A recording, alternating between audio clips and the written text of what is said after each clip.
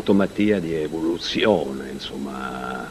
Non bisogna a volte pensare troppo, magari se penso agli accordi di questo pezzo, al giro come costruito, forse non mi piace più se lo vado ad analizzare, se lo sento così in maniera eterea, mi dà una sensazione l'arrangiamento, il piano sonoro, l'abbillimento, eccetera, eccetera, forse me lo prendo di più senza pensare troppo. Attenzione, se io penso troppo, poi ehm, è un po' la fine, ecco. Comunque andiamo avanti, sempre con Richard Benson, sempre ottava nota, in questo momento più riflessivo, questa seconda parte. Adesso un chitarrista idolo americano suona nei club, è andato George Benson una sera in club, ha detto ammazza, questo è veramente spaventoso, mi ha fatto veramente paura. E George Benson è un grandissimo, grandissimo chitarrista ormai da parecchi anni, nonostante la sua duplice faccia di fare poi un genere più semplice, eh, però come chitarrista jazz, insomma,